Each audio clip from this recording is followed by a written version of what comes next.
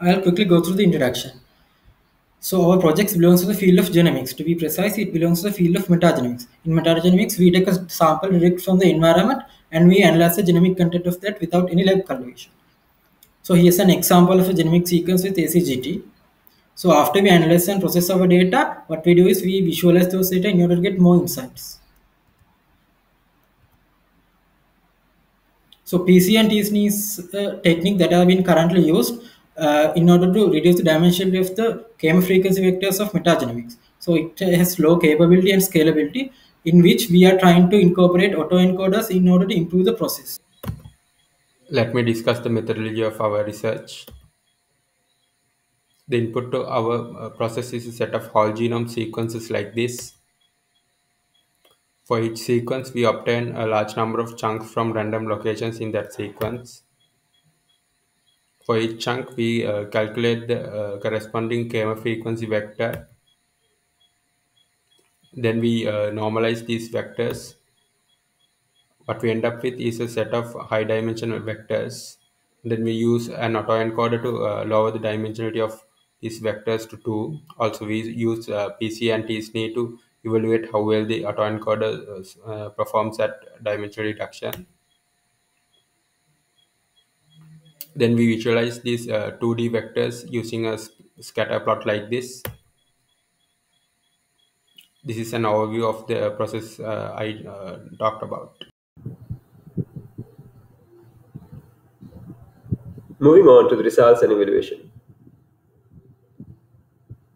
For evaluation purposes, we use two clustering evaluation metrics, V-measure, an extrinsic metric, and silhouette coefficient, an intrinsic metric. As these results portray for tetranucleotides here and trinucleotides here, autoencoders perform significantly better in the extrinsic metrics front, reflecting its abilities of preserving the high dimensional data. What was also observed is the autoencoder's ability to retain overall global structure of the data as depicted here in the conservation of taxonomic information. It is these findings that motivated us to build MetaG. MetaG is a tool that can analyze metagenomic data and uh, produce uh, visualizations. Currently, MetaG has uh, three techniques to analyze metagenomic data. The analysis based on uh, autoencoders, the analysis based on uh, PC and t-SNE, and uh, the analysis based on the popular tool BLAST.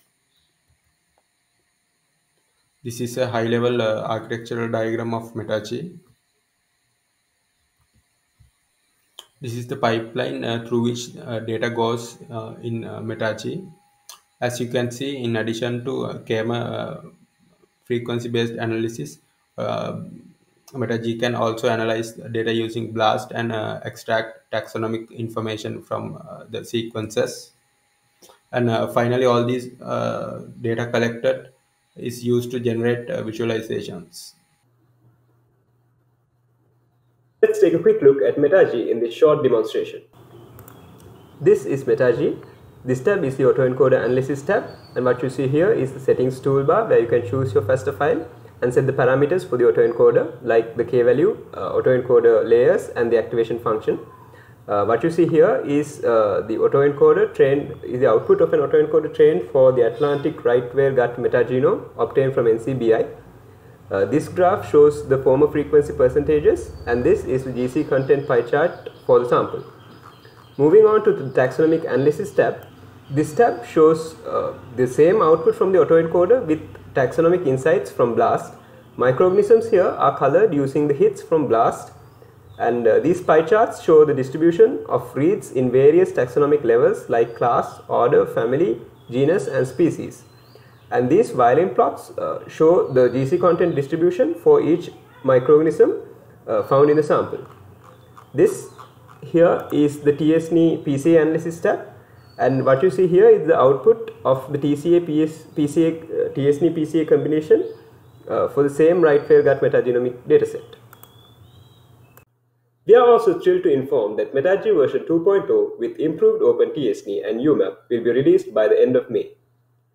Some of the many milestones during the course of our project include winning the award for the best paper at ICTA and presenting at BIBM last year.